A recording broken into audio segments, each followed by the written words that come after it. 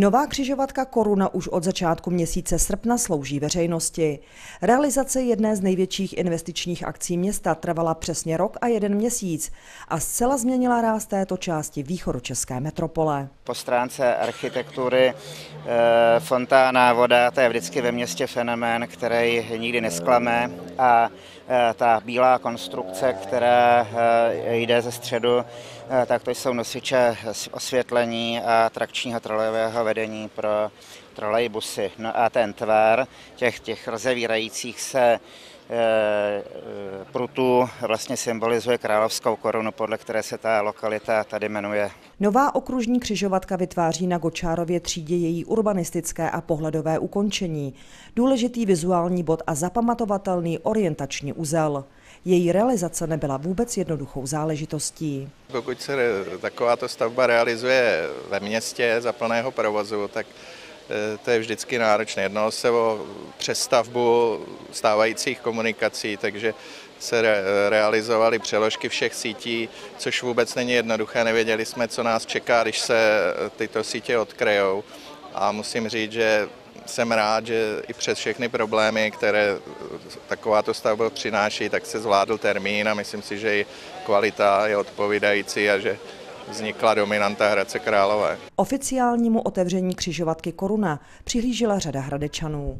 Moc se mi to líbí, protože vlastně Hradec je královský věný město, takže tohle vlastně tak symbolizuje ta koruna.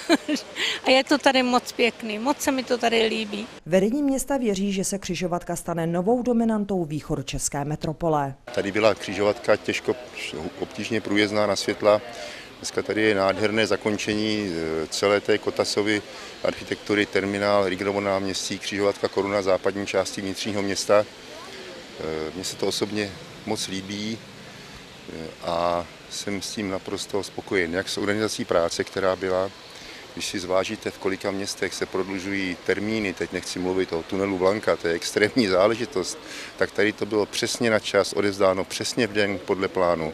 Nevznikaly dopravní zácpy. Křižovatka slouží, nádherně průjezdná, já jsem s tím spokojený. Tak pokud jde o cenu, eh, cena byla 128 milionů korun, ale není konečná. Eh, v celkovém vypořádání eh, se zjeví, že stavba bude o několik řádově milionů ještě nižší. Je třeba si uvědomit, že v žádném případě se nejedná, co se týče této sumy, pouze o okružní křižovatku koruna, to je pouze jedna pětina.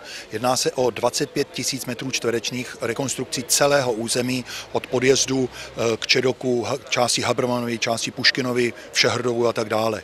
Nejedná se tedy jenom o křižovatku. A nejedná se pouze o to, co je na povrchu, jedná se i o velké množství a celkovou rekonstrukci inženýrských sítí, což bylo také finančně nákladné. A takhle vypadá křižovatka Koruna ve večerních hodinách. Její netradiční nová podoba láká řadu lidí k procházkám do tohoto koutu Hradce Králové.